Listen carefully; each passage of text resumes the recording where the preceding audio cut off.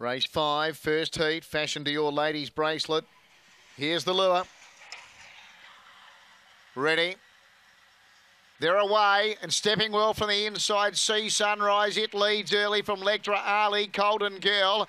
Railing up, back up, Tiger from Brae's Girl. Deeper out, Penny Eagle, then Raw Summon. Good yarn off the back. There was a bit of trouble here. And the favourites got right up on the inside and taken the lead here. Back up, Tiger. Back up, Tiger. Let a wall of them chasing it. But back up, Tiger scores. Now for the minors, Braze Girls run second. I'm not really sure third. See Sunrise, Lectra, Ali, Raw Summon, Penny Eagle. They were virtually all in a line. And good yarn.